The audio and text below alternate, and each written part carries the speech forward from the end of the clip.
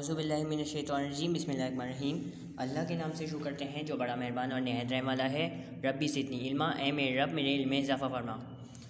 वालेकुम to all students I am your mathematics teacher from studying schooling system how are you all so students today is our tenth lecture video of mathematics subject take out your maths book and open page number one hundred and thirteen page number one hundred thirteen पर हमारा new topic है which is conversion of decimals to fraction पहले वाले lecture में हमने fraction को decimal में convert करना सीखा था। अब इस वाले में क्या करेंगे? डेसिमल्स को फ्रैक्शन में कन्वर्ट करेंगे। कैसे? स्टेप वन क्या है? Count the digits to the right of the decimal point number two step है put one in the denominator under the decimal point put as many zeros as digits after the decimal point in the numerator remove the decimal point ठीक है? सबसे पहले हमें क्या करना होगा? जो भी हमारे पास वैल्यू गिवन होगी डेसिमल की, उसमें क्या करेंगे? जब पॉइंट हटेगा तो डिनोमिनेटर में नीचे पॉइंट की जगह वन लगेगा। और पॉइंट के राइट हैंड साइड पे जितने भी नंबर्स होंगे, उतने हमारे पास ज़ीरो आ जाएँगे। फॉर एग्ज़ाम्पल जैसे मैं जैसे मैं ये कर रहा हूँ कि जैसे फॉर एग्ज़ाम्पल मैंने एक वैल्यू लिखी, ठीक है? इसको हम सॉल्व करते हुए कैसे करेंगे?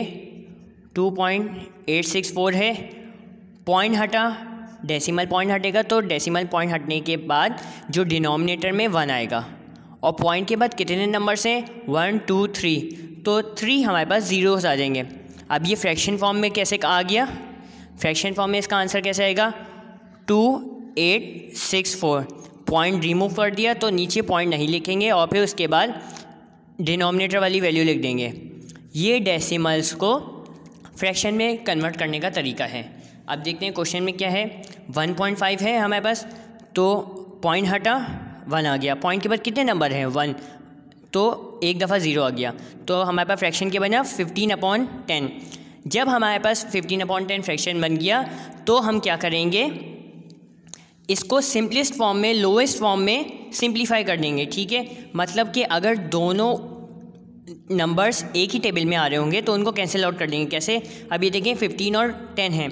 दोनों नंबर्स फाइव के टेबल में आते हैं। फाइव थ्री ज़ा फिफ्टीन फाइव टू ज़ा टेन तो इसका आंसर क्या आ गया? Three upon two so students इसी तरह आपको page number one hundred thirteen के रिमेनिंग क्वेश्चन भी करने हैं। Remaining one two three four five five question भी आपको करने हैं कॉपी में। सो so, स्टूडेंट्स जो मैंने क्वेश्चन आपको बुक एक्सरसाइज का समझाया है page number one hundred thirteen पे वो आपको कॉपी में भी करना है ठीक है? उसके बाद जो नीचे रिमेनिंग क्वेश्चन है वो करने स्टार्ट करेंगे। सिक्स पॉइंट फाइव हमारे पास फ़र्स्ट क्वेश्चन है सिक्स पॉइंट फाइव कैसे सॉल्व होगा? सिक्स पॉइंट फाइव लिखा। पॉइंट हटा वन आ गया। पॉइंट के बाद कितने नंबर है? वन तो वन आ गया। तो हमारे पास ये सिंपली फ्रैक्शन क्या बन गया? सिक्सटी फाइव अपॉन टेन अब ये सिक्सटी फाइव और टेन हमेशा ये देखेंगे कि लास्ट वाले नंबर क्या है? लास्ट वाला है एक फाइव है एक ज़ीरो है. ये दोनों किस टेबल में आते हैं? फाइव के टेबल में. तो ये दोनों कौन से टेबल से कट कैंसिल आउट हो सकते हैं? फाइव के. कैसे? फाइव वन ज़ा फाइव वन ही आ गया. तो फिफ्टीन हो गया. फाइव थ्री ज़ा फिफ्टीन और ये फाइव टू ज़ा टेन तो हमारे पास इसका आंसर क्या आ गया? Thirteen upon two so students page number one hundred thirteen का जो बुक एक्सरसाइज गिवन थी, उसमें लास्ट क्वेश्चन था zero point zero zero five ये एक न्यू क्वेश्चन है आपके लिए, ये मैं सॉल्व करूँगा, कैसे करेंगे? सिंपली इसको एज इट इज़ लिखेंगे रिमेनिंग क्वेश्चन जैसे जैसे हम प्रीवियस क्वेश्चन करते हैं, ठीक है? अब ये पॉइंट हटा तो वन आ गया। पॉइंट के बाद कितने डिजिट्स हैं? तीन। एक, दो, तीन। तो हम थ्री ज़ीरो यहाँ लगा देंगे। तो यहाँ पर इसका फ्रैक्शन क्या बन गया?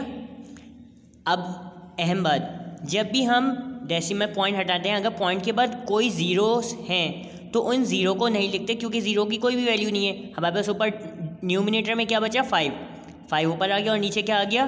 वन थाउज़ेंड अब इनको कैंसिल आउट कर लेंगे कैसे? फाइव वन ज़ा फाइव फाइव टू ज़ा टेन और two zeros as it is आ जाएँगे। तो हमारे पास इसका आंसर क्या आ गया? One upon two hundred so so, students इसी तरह आपको page number one hundred and thirteen के रिमेनिंग क्वेश्चंस करने हैं। और page number one hundred fourteen पे एक्सरसाइज सिक्स पॉइंट टू है। सिक्स पॉइंट टू का पार्ट वन हमने विंटर वेकेशन वर्क में किया था और अब पार्ट टू करेंगे convert the decimal to fractions ये भी बिल्कुल एज इट इज़ उसी क्वेश्चंस की तरह होगा ठीक है? अपना बहुत ख्याल रखिएगा। अल्लाह हाफिज़ और टाइम पे स्टूडेंट्स काम चेक करवाइएगा।